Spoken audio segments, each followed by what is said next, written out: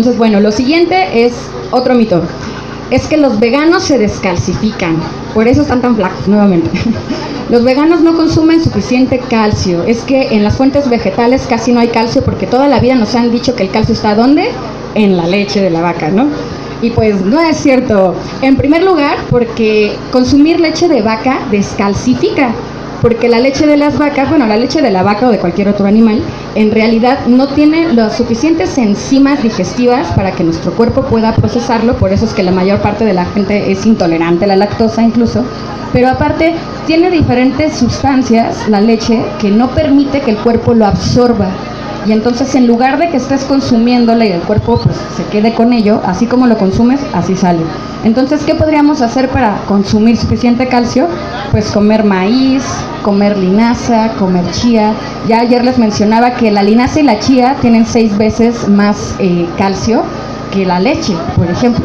Entonces no tendríamos que estarnos preocupando por si vamos a tener huesos débiles por dejar de consumir yogur o por dejar de consumir quesos. Mejor pensemos en las razones de por qué no consumir yogur y quesos, ¿no? Como no solo el hecho de que pues es la explotación para la población femenina de una especie y tenerlos todo el tiempo eh, confinadas a condiciones de vida absolutamente terribles, sino el hecho de que eh, por norma sanitaria está permitido que cualquier producto lácteo pueda tener un índice muy alto de pus. De hecho, eh, es un conteo a millones que dice que tienes, puedes tener 450 millones de unidades de pus por célula, eso en, en México. En otros países es un poco más, en otros países es un poco menos. Pero bueno, el punto es que ¿por qué querríamos estar consumiendo pus? ¿Por qué querríamos estar consumiendo eh, eh, pues algo que en realidad no va a hacerle bien a nuestro cuerpo y que aparte pues le hace tanto daño a otro ser vivo? Entonces, bueno, si el problema es el calcio, ya saben, linaza y chía. Otra cosa que también dicen mucho es que los veganos tienen deficiencia de hierro. Y no es cierto tampoco. ¿Por qué? Porque las principales fuentes de hierro son todas las cosas verdes. O sea, las espinacas, las acelgas. Y además, este tipo de alimentos, las, las hojas, vienen adicionadas naturalmente con la vitamina K, que es la que nos ayuda a fijar el, hierro junto con la vitamina C. Entonces, mientras más natural nosotros consumamos los alimentos, alimentos que nos da la tierra, más fácil es que podamos observar este tipo de micronutrientes. Otra cosa que nos dicen mucho es, no, es que necesitas consumir vitamina D, eh, suplementarla, porque la vitamina D tampoco la puedes encontrar más que en animales y entonces pues vas a tener una deficiencia. Y no, tampoco es cierto. ¿Por qué? Porque la vitamina D junto con la vitamina A la podemos encontrar y la podemos fijar con el sol y con diferentes alimentos que se encuentran eh, en, las raíces, por ejemplo, que tienen betacarotenos. Los betacarotenos son los que hacen en realidad que se fijen diferentes eh, vitaminas y se encuentran en absolutamente todos los alimentos que sean de color naranja o de color rojo. Entonces es así de fácil. Mientras tengamos una alimentación que también sea variada en colores, no tendríamos por qué tener deficiencia de vitaminas. Otro de los mitos más populares es que comer vegano es muy caro ser vegano es para la gente hipster, ser vegano es para los ricos, es para la gente que se puede dar el lujo de comer en colonias eh, pues caras o no sé. Y bueno, yo siempre le digo a la gente, ah, sí, y bueno, ¿cuánto cuesta el kilo de plátano? De 5 a 10 pesos. ¿Cuánto cuesta el kilo de arroz? ¿Cuánto cuesta el kilo de lentejas? Eso es muchísimo más barato que consumir carne. ¿Cuánto cuesta el kilo de carne? Cuánto cuesta el kilo de pollo, el kilo de salmón, el kilo de pescado. Entonces, en realidad, si nos ponemos a hacer un balance económico, es muchísimo más barato llevar una alimentación basada en plantas. Quizás la única cosa que sea más cara es la variedad de nueces. Si consumimos, eh, pues no sé, macadamias, cacahuates o yo qué sé. Pero también hay que ponderar un poco. No las consumimos a diario, las consumimos poco y siempre hay una forma de, pues, cambiar una por otra. O sea, no siempre podemos consumir leche de macadamia, ni siempre podemos consumir queso de nuez de la India, al menos que a ver si seamos ricos. Pero, ¿cuánto cuestan las semillas de girasol? O sea, son baratísimas, cuestan como 20 pesos. Bueno, no sé cuánto cuestan en Puebla, pero son muy baratas. Entonces, eh, en realidad no hace falta tener que comprar siempre semillas caras. ¿Cuánto cuesta la ajonjolí? El ajonjolí es baratísimo. Y la leche de ajonjolí es súper rica y es súper rica también en calcio. De hecho, una cucharadita de ajonjolí tiene todo el calcio que necesitamos para todo un día. Entonces, en realidad tampoco, esa parte de que es caro, pues en realidad, ¿quién lo dice? ¿No? Dicen que es caro ser vegano, pues lo ha de decir la industria cárnica, yo creo, ¿no? Que se está dando cuenta que poco a poco van bajando sus ingresos, porque pues ahora consumimos también otro tipo de alimentos, ¿no? De hecho, los artículos que existen actualmente que dicen que la soya es transgénica están pagados también por la industria ganadera. Entonces también, siempre que les digan algún comentario para tirarles un poquito de tierra, porque, ah, pero es que tú vegano, y, y les ponen estos mitos, pues fíjense quién lo dice, quién lo está escribiendo, porque muchas veces quienes hacen estos artículos pues son Pilgrims o son Tyson o estas empresas en realidad ganaderas y que se dedican a la explotación avícola o de diferentes animales. Otro de los mitos que ya ayer platicaba un poquito, ¿no? Que nos dicen, no, es que cuando la gente tiene una alimentación basada en plantas se deprime, y entonces eh, puede llegar a tener eh, suicidio o puede llegar a tener casos difíciles de, neuropatías o de patologías mentales, etcétera. Y no, tampoco es cierto, o sea, por ahí circuló mucho en las redes, ayer les comentaba esto de que no, que Robin Williams, que se murió y se suicidó, que porque era eh, vegetariana, ¿no? Y de repente ese video se super viralizó y ya nos condenaban a todos los veganos y todos los vegetarianos porque éramos personas deprimidas y no todos nos íbamos a morir en algún momento. Y pues no, no es cierto, eso también es mala propaganda. ¿Por qué? Porque para que nuestro cuerpo genere eh, suficientes endorfinas, lo único que hace falta, aparte de hacer actividad física, es consumir carbohidratos, porque en los carbohidratos se encuentran eh, las diferentes sustancias que necesitamos para que el cerebro produzca oxitocina, que es lo que hace que estemos felices y contentos. Y eso lo podemos encontrar en el plátano, en la cúrcuma, en el azafrán, en un chorro de alimentos dulces sobre todo, pero dulces naturales. Bueno, también dulce si es de cacao, si es chocolate, se vale, se vale estarse dando sus gustitos sin culpa. chocolate amargo, bueno, chocolate sin amargo.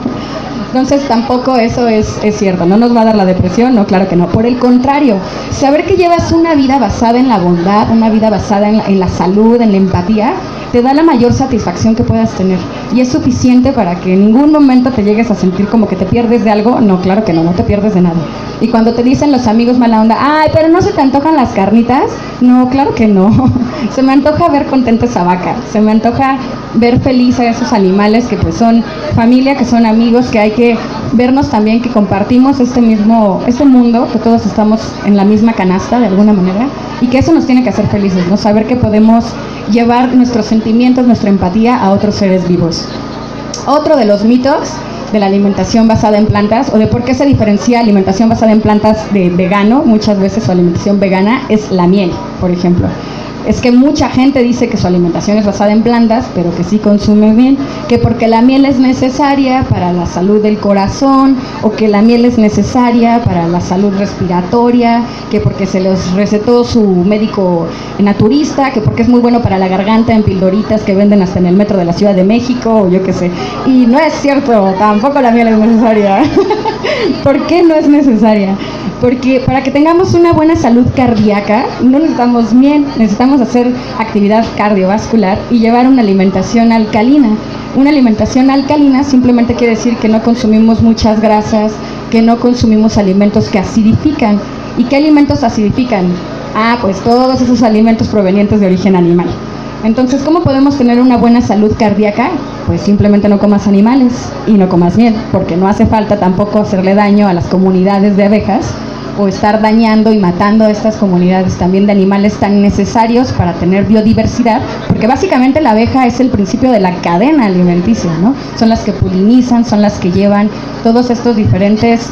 Eh, pues todo lo que va saliendo de la bondad de las florecitas a llevarlas a otros lugares para que tengamos eh, una amplia variedad de cultivos. Por eso es que existe no solamente un tipo de zanahoria, sino, bueno, no sé si se han dado cuenta, yo apenas recientemente me di cuenta que hay zanahorias amarillas, moradas, naranjas, blancas y otros colores. Bueno, todo eso, esas variedades, es gracias a que las abejas pues ayudan a hacer esta polinización.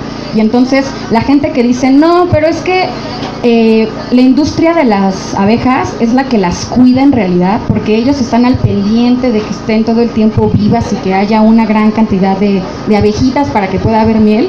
Pues no, también ese es un doble discurso, es un discurso que es falso porque la verdad es que cuando a las abejas se les quita la miel, se les está quitando pues un alimento que es para ellas y que ellas produjeron para sí mismas y para la colmena. Y aparte de que ellas se quedan sin qué comer, pues tienen un periodo de vida muchísimo menor, naturalmente porque se les quitó algo que era necesario para su supervivencia. Entonces, pues no, no hace falta consumir miel. No hace falta consumir miel tampoco para tener una buena salud respiratoria.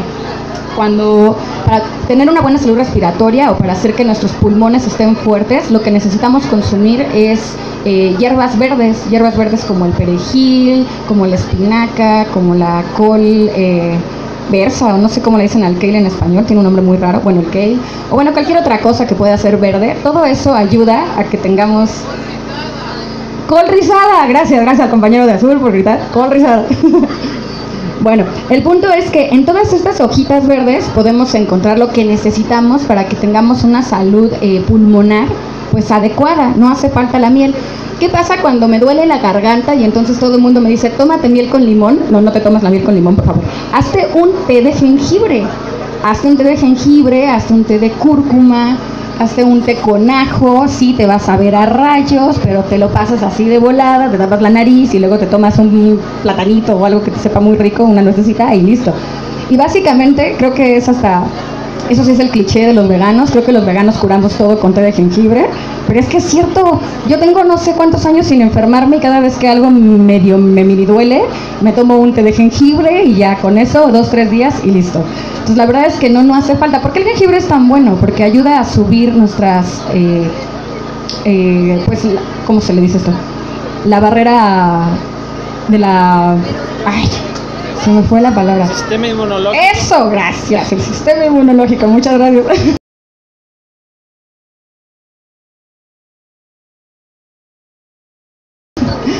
Así es, lo que ayuda es a subir el sistema inmunológico. Y entonces en realidad lo que queremos es estar suficientemente saludables para no enfermarnos. No que nos enfermemos y luego estar buscando y ahora que me tomo para que se me quiten todos los síntomas. Y entonces nuevamente, ¿qué hace falta para no enfermarse? Pues llevar una alimentación alcalina. Y los alimentos alcalinos, pues son todos estos que se encuentran sobre todo en las cosas crudas, las frutas, las verduras, los germinados que ya les decía, con eso podemos tener una alimentación alcalina. Porque el problema de cuando nuestro cuerpo está ácido es que las enfermedades para que puedan eh, desarrollarse necesitan un ambiente pues ácido justamente.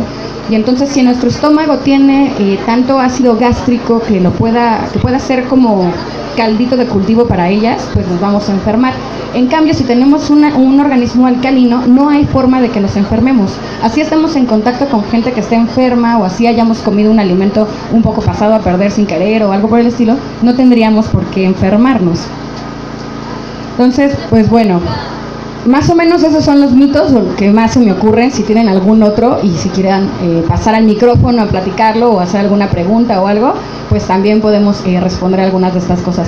No sé si fueron muchos, no sé si fueron pocos, aparte creo que ya casi se nos está acabando la feria, lo cual está muy triste, porque está padrísimo este evento, los felicito a todos, productores y consumidores, por los que estamos aquí el día de hoy. Creo que está súper chido que podamos crear una comunidad de gente que estemos todos empatizando en, en favor de la salud, pero más que nada de la vida, de la justicia por los derechos de los animales, más que nada por pensar en que no somos dueños de este planeta, que lo compartimos.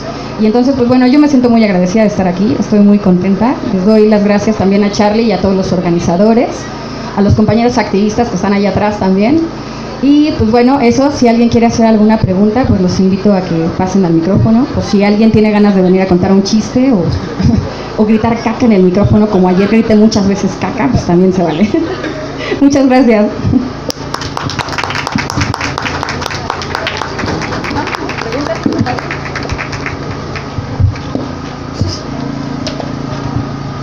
Hola, muchas gracias por tu plática y mi duda es, es un poco extraña, apenas tiene yo creo unos cinco meses que alguien me argumentaba que porque yo defendía la vida pero seguía matando plantas. Y digo, sí tiene algo, algo de razón, ¿no? Pero eso me hizo investigar un poco y me encontré con que hay personas que deciden no matar la planta. Digo, tienen huertos, tienen su cebolla, por ejemplo, cortan la parte de la cebolla que se van a comer y pueden seguir cultivando a la planta. Entonces, de alguna forma, no estaríamos matando a la planta. Eh, ¿Algo que nos puedas compartir de eso? ¿Sí? Gracias. Sí, de hecho, a mí me gusta mucho decir justamente que cuando tienes una alimentación omnívora, consumes cadáveres. Y cuando tienes una alimentación basada en plantas, consumes alimentos vivos. Porque de hecho, incluso si tú sacas la cebolla, esa misma cebolla que estás diciendo, la sacas de la tierra, le cortas el, pues el tallito, lo que sea, de todos modos los alimentos siguen teniendo un proceso de vida. Por eso es que nosotros eh, vemos en el mercado o nos llevamos a casa el plátano amarillo o el mango que todavía está verde, pero vemos cómo sigue transicionando su color, porque todavía está vivo. Entonces sigue teniendo como este crecimiento. Y justamente por eso es que es tan saludable para nosotros, porque incluso al momento en que nos estamos comiendo el alimento, pues sigue estando vivo. Por otro lado, también está esta parte de volver a los germinados, que yo soy súper fan. Hagan sus germinados, por favor. De hecho, en mi canal tengo un video de cómo hacer tus germinados en casa. Es súper fácil, vayan a verlo. Mi comercial, el canal se llama Polifacética. Está muy bonito ese video, es una colaboración con otros compañeros veganos. Pero bueno, el punto es que los germinados son alimentos vivos te comes el germinado de lenteja o el germinado de fenogreco o de lo que se te ocurra hacerlo y todavía tiene la hojita, todavía tiene el tallito y así te lo estás comiendo.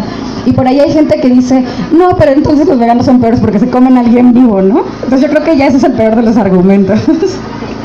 pero bueno, está, muy padre tu comentario, gracias. ¿Alguien más que tenga alguna duda, comentario, chiste? vengan a gritar caca al micrófono. Es muy bonito. Caca. No, bueno, pues entonces muchísimas gracias a todos y buen provecho. Los organizadores de Feria Vegana queremos hacer un reconocimiento a la maestra por, las por la plática de ayer y la de hoy, que estuvieron muy padres. No, muchas gracias a ustedes, de verdad. Bueno, pues un gran aplauso. Y aunque sea por un ratito más, pero la fiesta sigue. Musiquita, por favor.